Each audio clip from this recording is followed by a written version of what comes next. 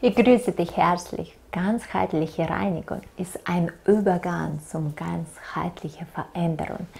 Viele Menschen kennen mich, ja, ich habe schon Programme, Bücher und Systeme äh, euch vorgestellt und ihr könntet das gerne zu Hause machen.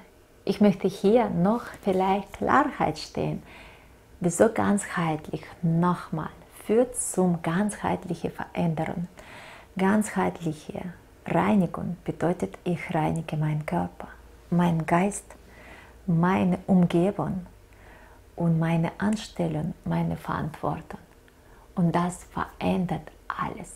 Das verändert meine finanzielle Welt, das verändert meine Familienwelt, was bedeutet meine Persönlichkeit, also individuelles Wesen.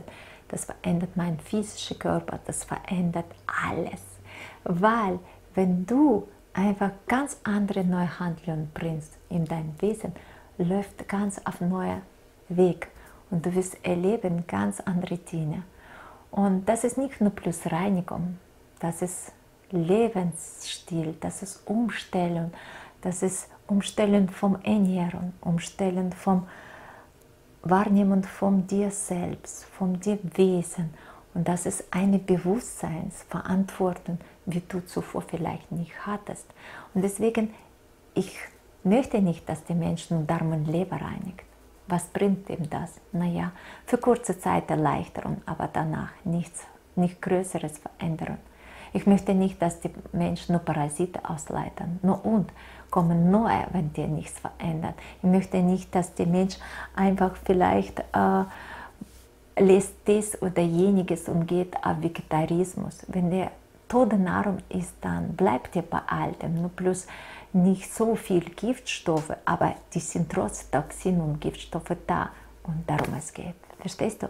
Ganzheitliche Reinigung bringt dich langsam zum Wahrnehmen, Verantwortung und zum einfach Erkenntnis, dass es ganzheitlich muss man machen, nicht nur portionsweise oder auf einem Eck etwas ändern, gründlich.